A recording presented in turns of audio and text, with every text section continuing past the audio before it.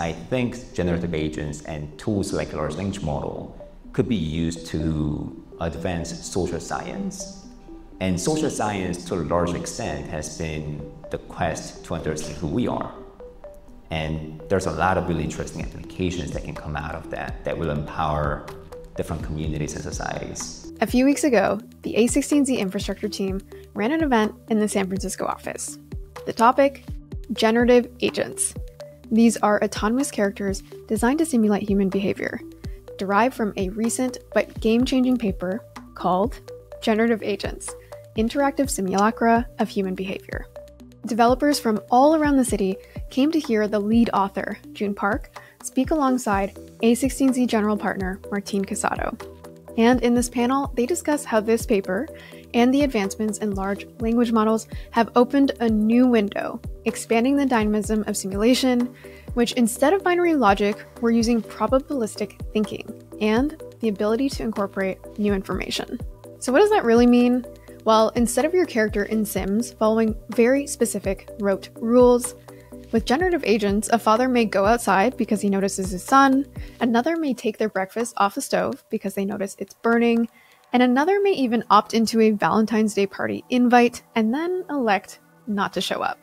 All very human behaviors. Now, the architecture described in the paper is, of course, intentionally designed by Joon and team, and it's a combination of a seed identity for every agent and then functions that cause each one to do three discrete things to observe, to plan, and to reflect. And these architecture decisions ultimately generate unexpectedly spirited conversations just like this. Hey, Lucky, it's so great to see you. How have you been? I've been dying to hear about your space adventure. Hey, Kira, I've been fantastic. My space adventure was out of this world. I can't wait to share all the details with you. Or even this. I've been trying to find my way. It's been a chaotic journey to say the least. Embrace the chaos, dear Kurt, for within its turbulence lies hidden truth. Seek the depths of the unknown and unravel the mysteries that burden your soul. And here's the thing they don't just interact with each other. Again, they wake up, they cook, some paint while others write, they hold opinions of one another, and most importantly, they remember and they have higher level reflections based on the past. It's pretty amazing, don't you think? So, as these generative agents become a lot closer to nuanced human behavior, what can we learn about being human from these surprisingly realistic simulations? And what is the calculus of that believability? Are there real world applications on the horizon? And what is truly net new here? Listen in as we discuss all that and more, including the origin of the very paper that Joon wrote. I hope you enjoy. As a reminder, the content here is for informational purposes only. Should not be taken as legal, business, tax, or investment advice, or be used to evaluate any investment or security, and is not directed at any investors or potential investors in any A16Z fund. For more details, please see a16z.com/disclosures.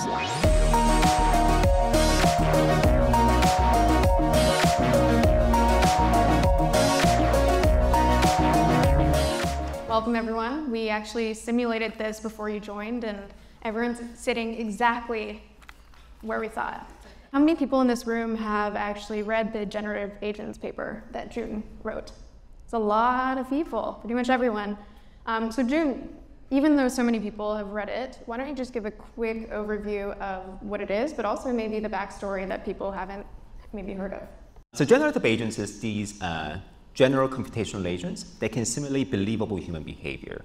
Uh, fundamentally leverages something like a large language model under the assumption that a language model has encoded or has seen so much about human behavior from its training data, from the Wikipedia, social web, and so forth.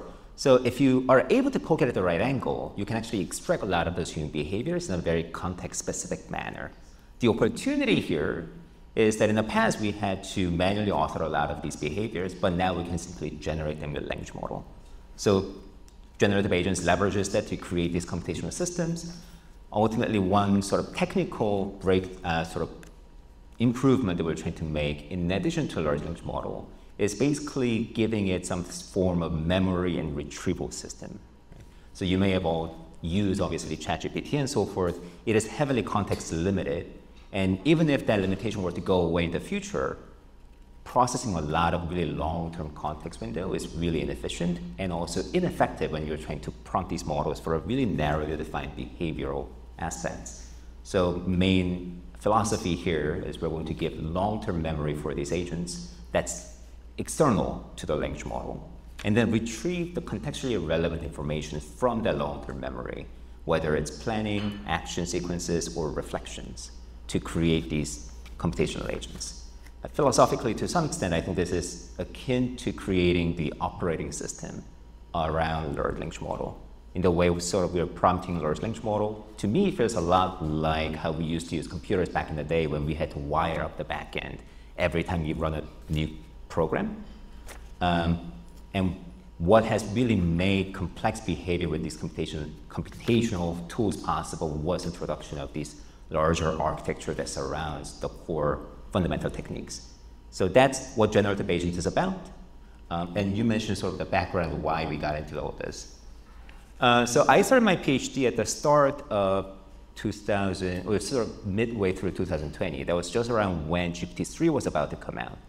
And that year, we, a bunch of basically authors uh, at Stanford, were working on this paper called Foundation Model, the opportunities and risks of foundation models.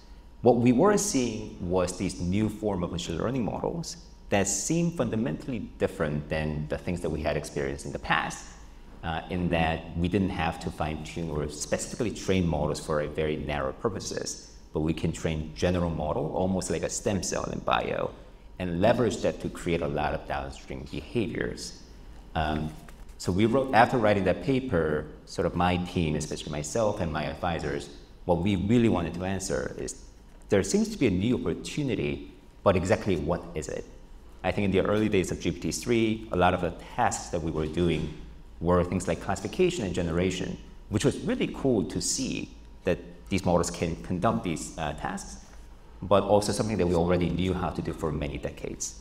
And our general philosophy there was if these models are truly new and they give us fundamentally different opportunity than what we had in the past, then they should be able to do something that's fundamentally different. So that's how we got into this. Our answer to that basically was, I think we might be able to create human-like agents uh, that can populate this virtual world. Martin, maybe you can just elaborate. You said it's perhaps one of the most exciting times in, in recent history, and maybe you can just speak to exactly what you mean there and how it relates to simulation and, and some of this new technology that we're seeing with LLMs. So first, very quick credit where credit's due. so um, as far as AI Town, clearly Joon is, is like the grandfather of AI Town, and like we wouldn't be here without your work. So really appreciate you coming here. AI Town itself actually came from a personal project from Yoko. Do you want to? So so that's Yoko. Um, so.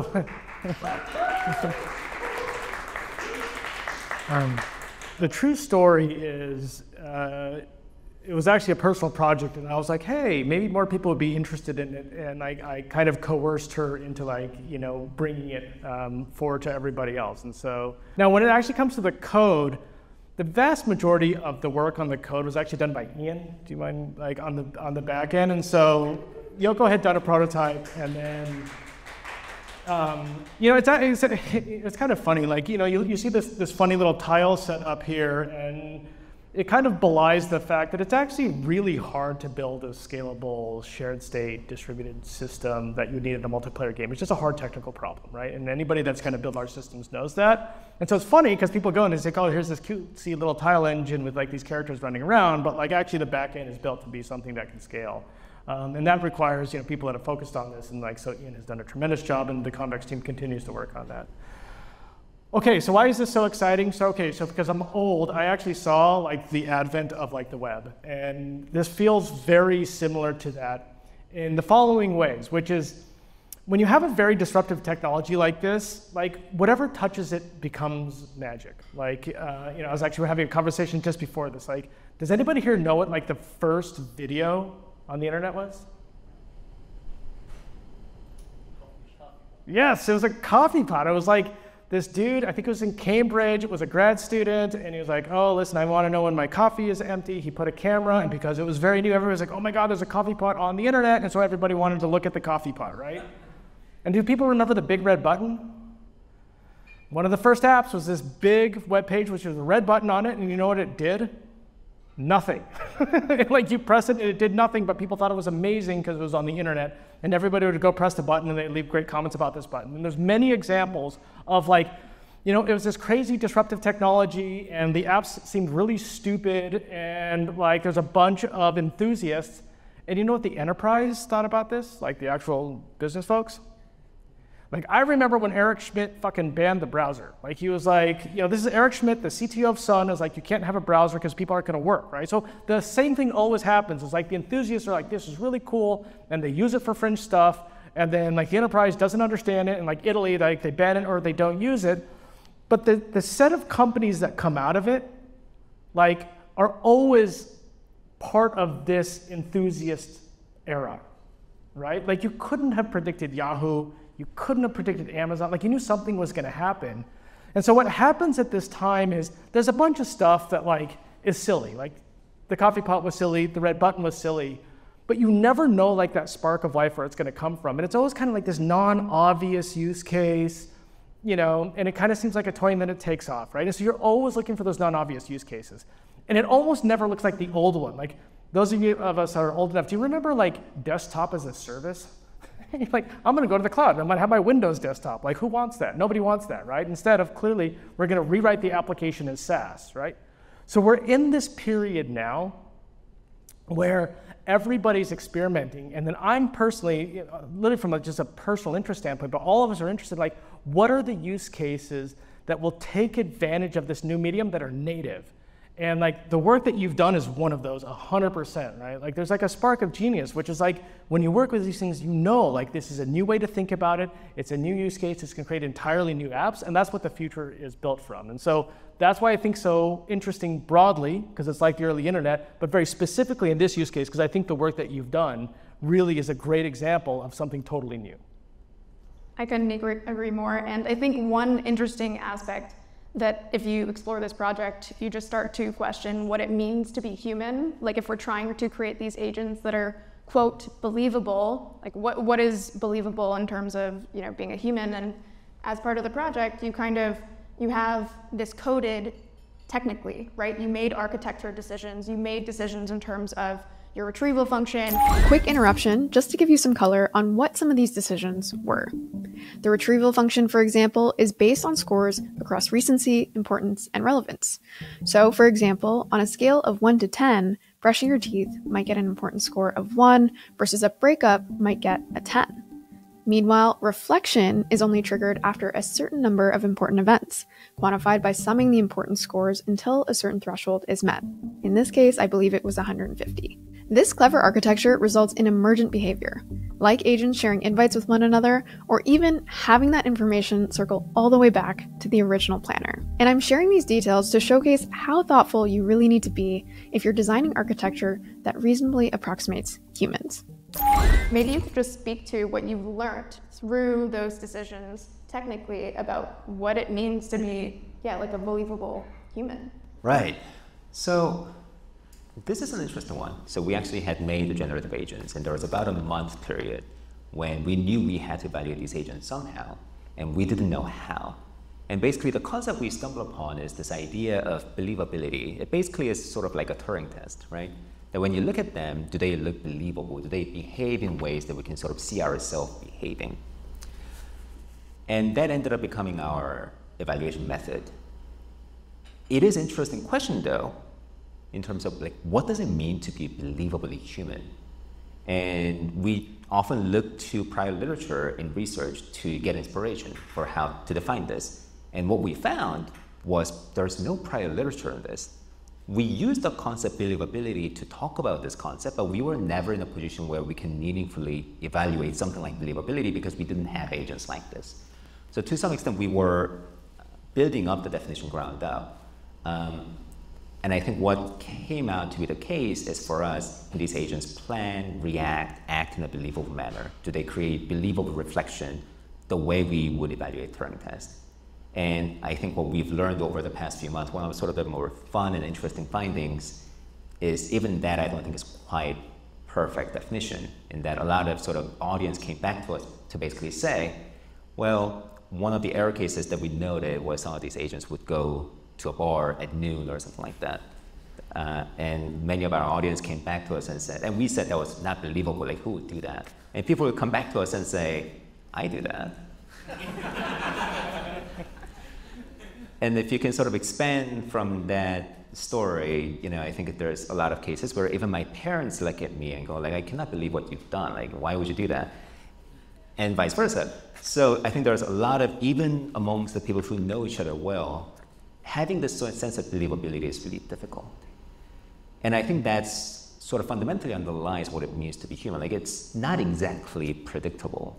And in social science, we call that complexity, that human behavior is sort of complex so to some extent, we can build intuition for how people might behave, but to really predict it is a very difficult task. Now, I, I, do think this actually does lead to sort of future work in this space, though, this idea of believability.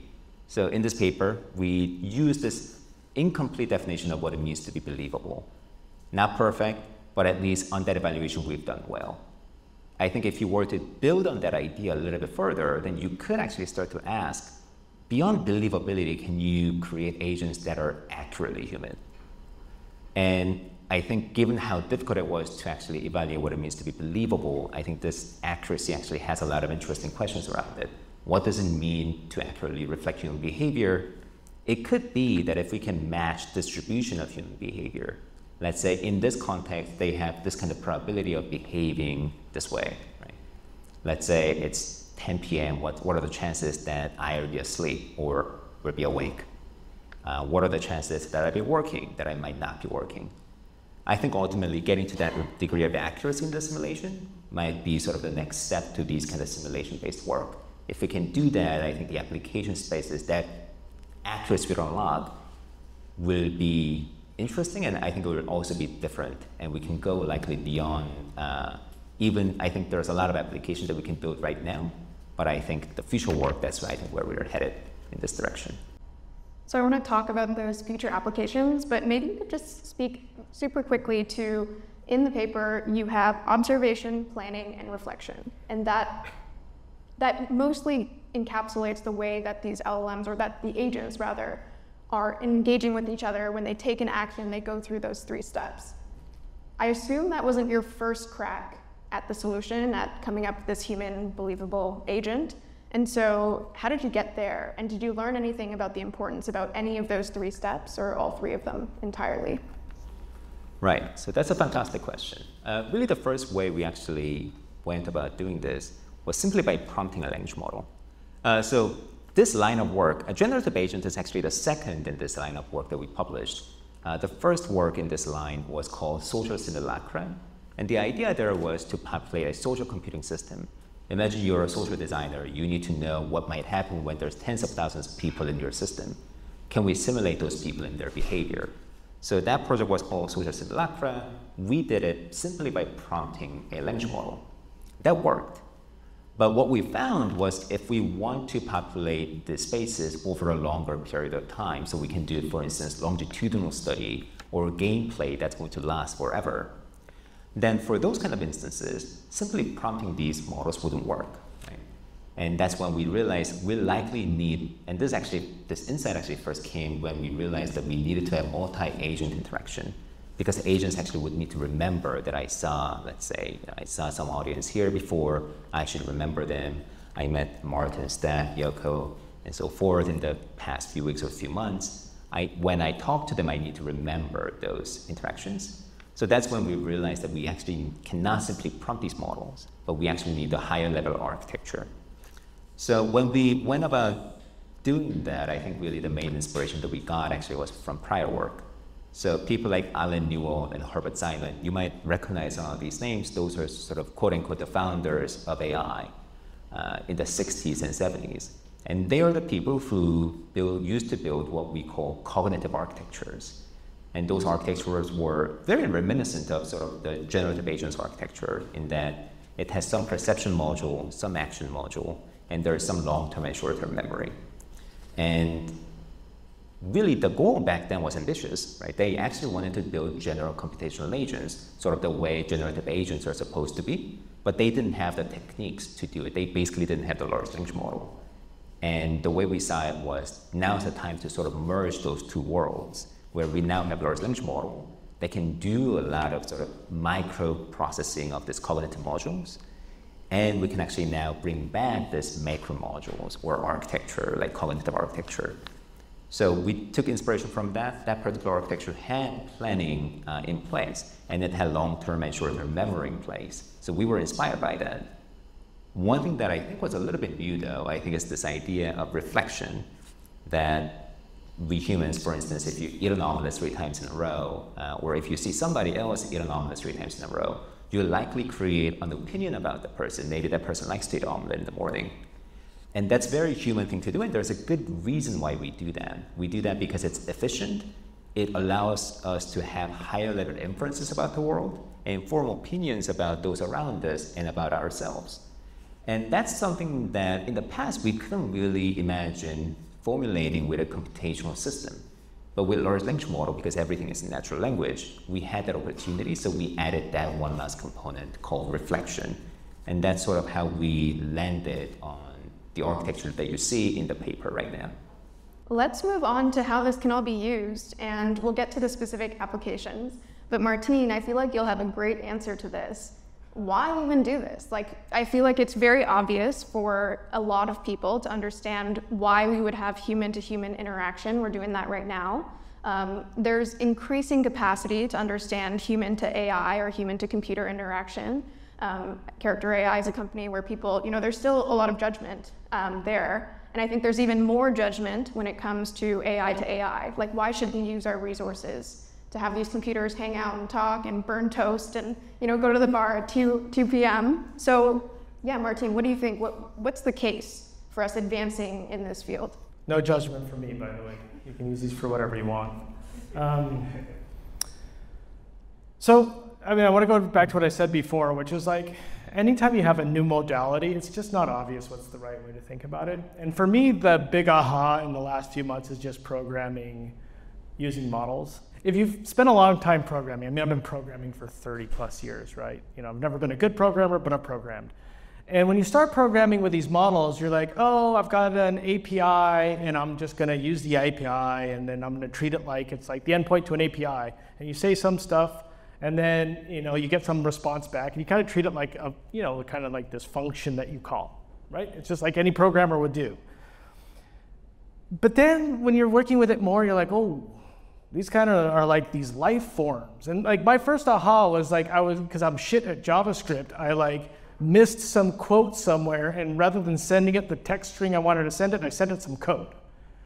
And instead of like borking like you would normally have and breaking, like you know, C++ you'd core dump or whatever, it commented on my code. it was like, oh my goodness, right? You know, and so like all of a sudden you're like, whoa, this is totally different. Like I'm not dealing with like this finite state machine, formal language, thing at the other end of an API, like there's this thing, and like it'll comment. And more that I program with these things, the more I'm like, you know, it's kind of like wrapping an abacus around a supercomputer, right? It's like it's smarter than the code. It could probably write the code better than I can write, anyways. Like, why am I doing this weird, you know, bloodletting ritual of writing shit JavaScript over this kind of superhuman thing, right? I mean, this is kind of what you end up with. And so it's very clear we're going to interact with these things in a different way. And in fact, I had this kind of, I was talking with a, a, a professor in Michigan recently, and we were talking about this object. He's like, you know what? You know how I think about LLMs? He's like, I think about them like grad students. He's like, you know, they speak English, they're pretty smart, you know, I don't use a formal language, you know, they solve like these really complex problems, etc. And like, having worked with a lot of grad students, having been a grad student myself, like you don't, you don't, you don't treat these things with, with code, right? And so the reason to do this is I actually think AI Town is kind of what this is going to end up being. It's like you need to give them the the resources that they need to be pretty autonomous and to grow, and we're going to treat them more like peers, and they're going to talk to each other too, and it's more like grad students. And so for me, this is just an example of like, we got to change the way we think. And listen, clearly, like I'm up here and I'm telling these great stories because they're kind of funny. Like I don't, I don't believe this stuff in the limit, but I think they're really imp- interesting, like ways to change how you think about it in all of this stuff, right? Like I'm like I'm not trying to be categorical here. So like there is a new way that we're going to interact with these models. It is much more natural language. They are much more powerful. Um, and so I, I, do think this is why we should all be doing this type of stuff because if you don't engage in these kind of things that look like toys, like this wave will pass you by. That I'm 100% convinced. Totally. And as both of you have spoken to, this is fundamentally new technology. And so, Joon, something you said to me when we first spoke is just when you have fundamentally new technology, you must do something fundamentally new with it. And so, maybe you can speak to that in terms of what you're seeing that can be done today but also where you look ahead and you think, oh wow, like that, that's a really excellent use case that we couldn't do without this new technology. I think there are certainly things that we can do because there's now large language models, and that fundamentally different thing for me was this idea of simulating human behavior. And I think there's a lot that we can sort of gain from it in terms of future application spaces. Um, I think I mentioned briefly about this idea of, well, what if we can go beyond believability to create agents that are even accurate. And I think this is sort of application space in general is something that I'm also learning a lot from, from actually, in fact, this audience.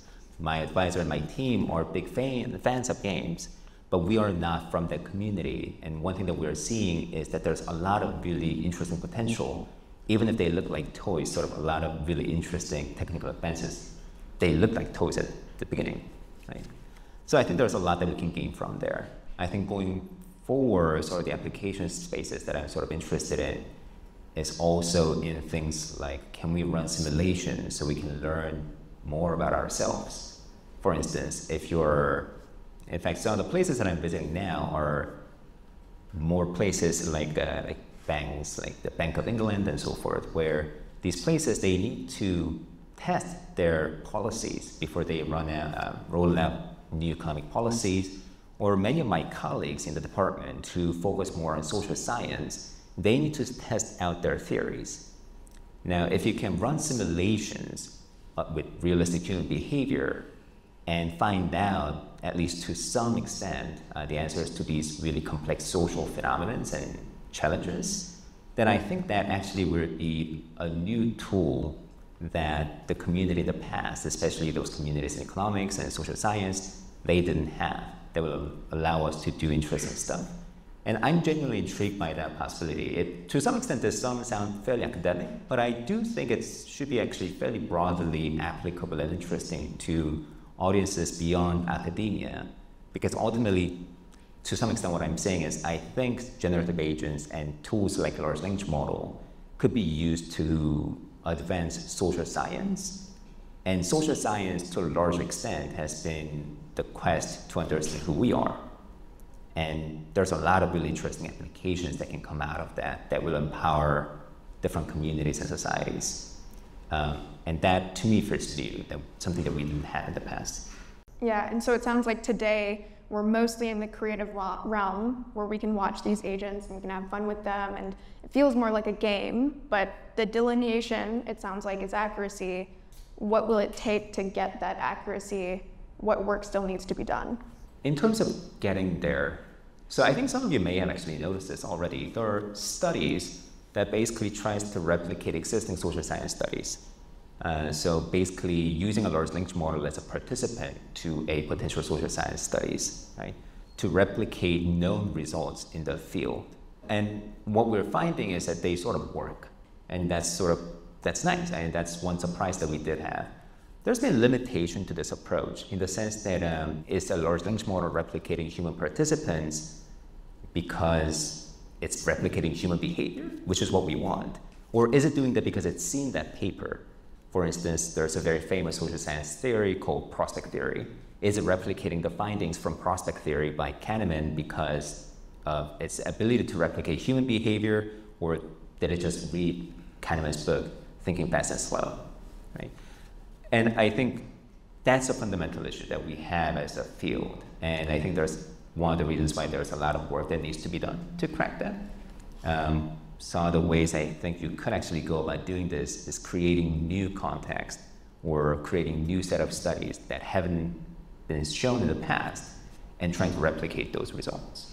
So one of the, the things that we've done is called social simulacra, which is the first paper that I mentioned that predates generative agents. The idea was to replicate existing human communities. And what we've done actually was we recreated subreddits that were created after the release of GPT-3. So GPT-3 wouldn't know anything about these communities.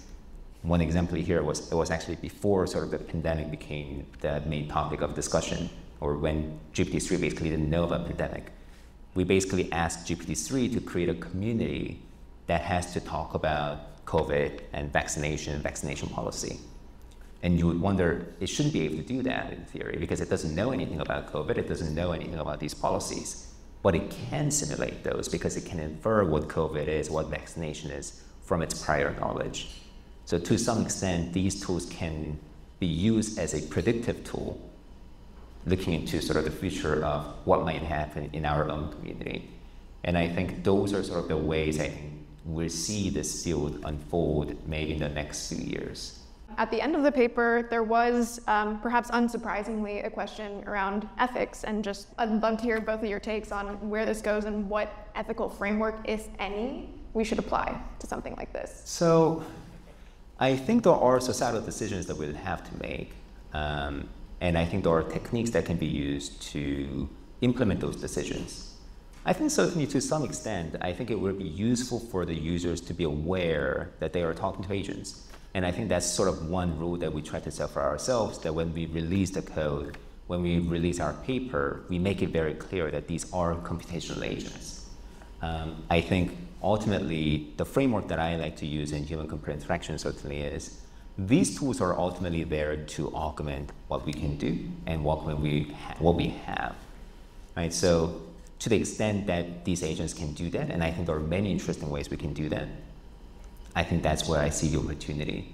And where it becomes more of a force for replacement, I think there are genuinely cases where this is a really interesting setup where we can sort of augment what humans can do by helping them, helping them do things that they couldn't do in the past. But when the replacement does come in, it's worth asking, is this worth the cost of doing the replacement? And if it is, what are sort of the good ways of implementing that idea? For technique-wise, I think there are techniques that's going to be introduced more from the model's perspective, making, making sure the model doesn't behave in certain ways that goes against our social alignment or societal agreement. Um, so I think those are some of the things that we do have to find out, but going without going too much in depth, I think we can get this right. I think, and my personal take is it's worth getting it right because ultimately an industry or academic field will grow. And I think we can sort of progress a lot. We can go forward for five, ten years without actually getting this right. But in the end, it's going to come back to us at some point.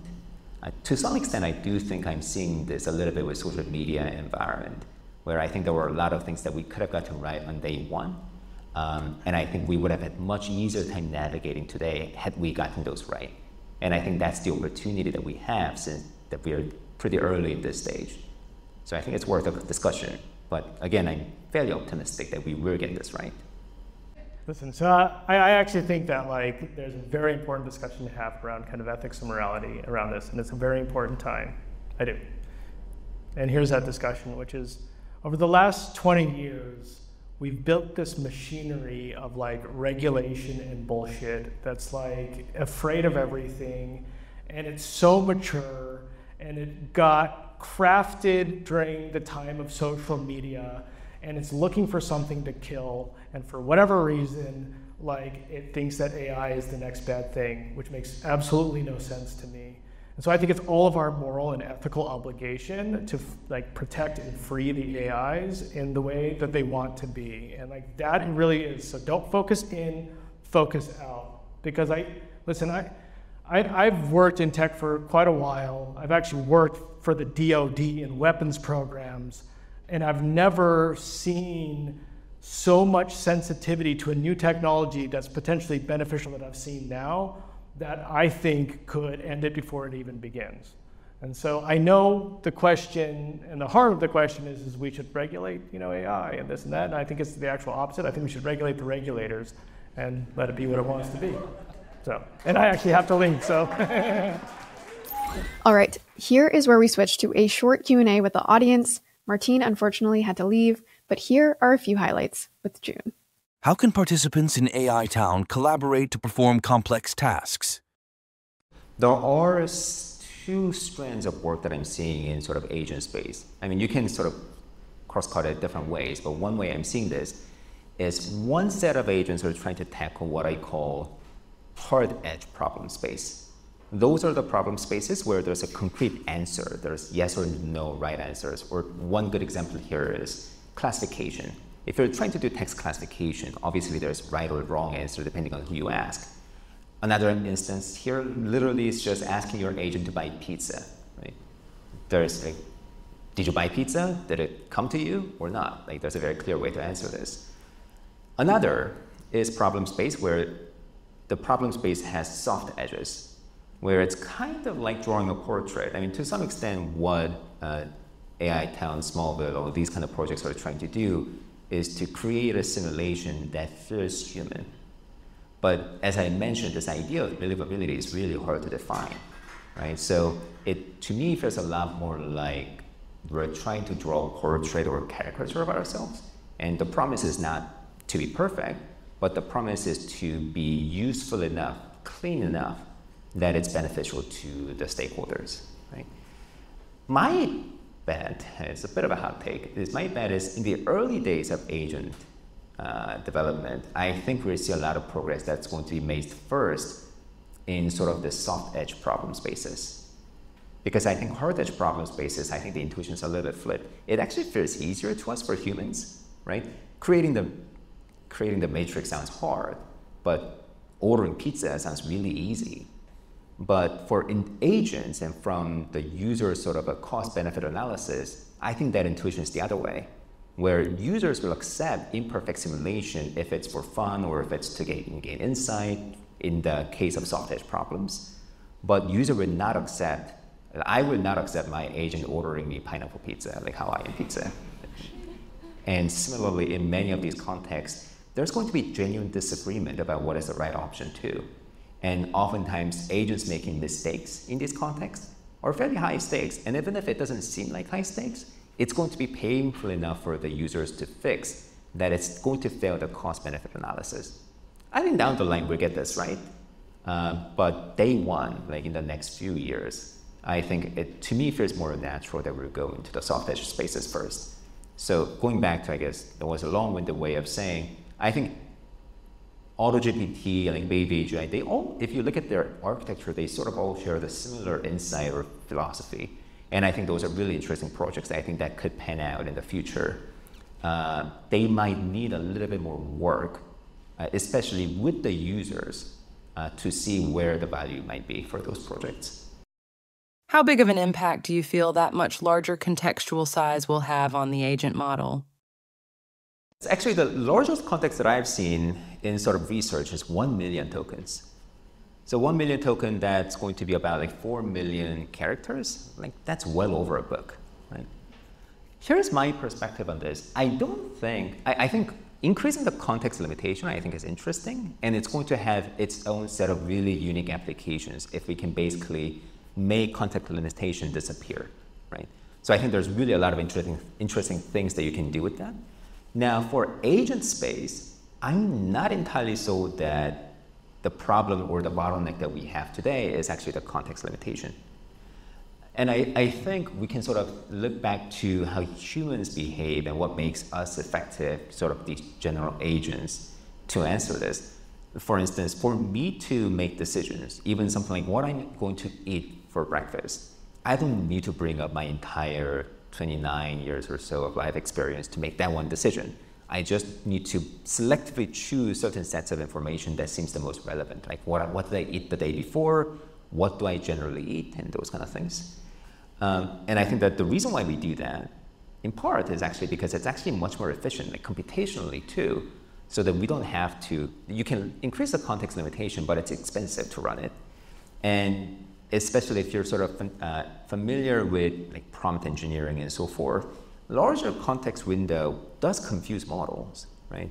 So we, my, some of my colleagues are, are actually doing more rigorous studies on this, where you, you can have a really long prompt, but model really focuses on the first few lines and the last few lines. And whatever comes in between, its attention drops significantly. Right? So we can increase the context limitation, but it's not going to fix that problem. the problem of effectiveness of the prompt and efficiency of them. And we humans have to make a lot of decisions at every single moment. So if you have to reason about your entire lifetime every time you do that, doesn't seem like the right way to go about that. So I think the better sort of, I might bet, therefore, is going to be based on retrieval. Have some external memory, retrieve certain information that seems the most relevant, and just use that. And that retrieval memory should be explicitly very concise and something that you can easily fit into even the models that we have today. Um, that's my bet.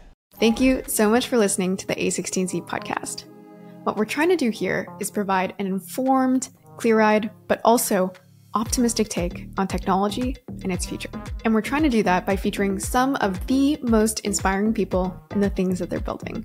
So if that is interesting to you and you'd like to join us on this journey, go ahead and click subscribe and make sure to let us know in the comments below what you'd like to see us cover next. Thank you so much for listening, and we'll see you next time.